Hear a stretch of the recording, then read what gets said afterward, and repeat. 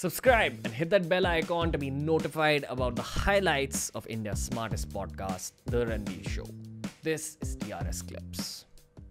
Blockchain is basically a technology that decentralizes. that decentralizes. So you are no longer trusting a part uh, single entity. Right now we trust banks. But we have seen what hap- happened to the banks in the past right? We don't have full transparency of how they operate. In a decentralized manner you will have full visibility. The entire ledger is public and you can trust the system more without uh, without the need to trust a centralized party because the system is designed in a way Yeah, one, one second, bro. Let me just get this straight. So, hmm. say the case of a Punjab National Bank or any other bank that probably shut down.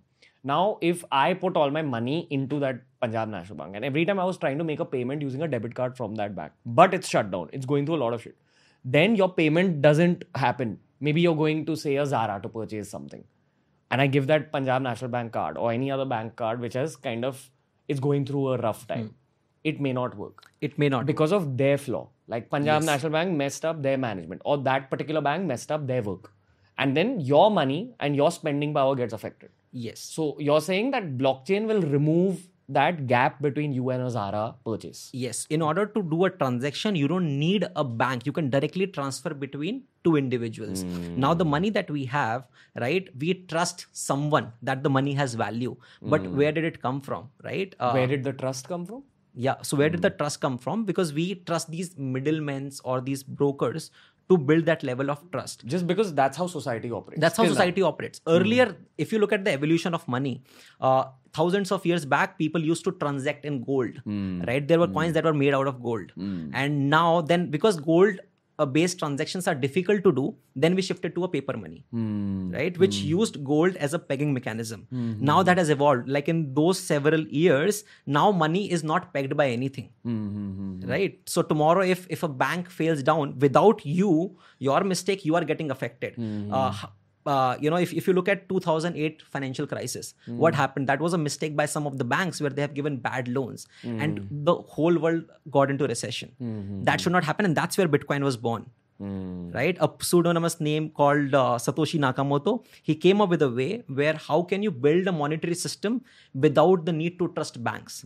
And you are sure that if you own certain bitcoins that completely belongs to you. It does not have uh, you know uh, need assurance from anyone else from a third, uh, centralized party. It is your own money that you have full control of. Now 10 years 20 years into the future when bitcoin and other cryptocurrencies are more common if i want to buy your suit i can pay you in bitcoin and you'll be like yeah cool i received it and you'll give me your suit. Rather than you having a debit card machine me having a debit card putting it into your machine. Like from each other's phones or from some technology we'll be able to transact between each other. Yes that can also happen. So there are various cases of crypto uh, assets right? So one for example bitcoin is like an asset. Just like how you treat gold bitcoin is like that. It is a store of value uh, right? Uh, there are certain uh, currencies that the government will develop. There's something that you might have heard about cbdc's central bank digital currencies. Now cbdc's can replace the current uh, f- uh, financial uh, rupee right? That can be a digital rupee which runs on top of blockchain. Now with blockchain you will have full transparency of how the money is being used. Let's say there is a donation right? With covid a lot of uh, firms have raised donations. Now, if you want to see the entire ledger, how the money came, where it go, you will have full transparency transparency of the entire system. That is what blockchain provides. Got it. So again, I'll just make this even simpler for the end users.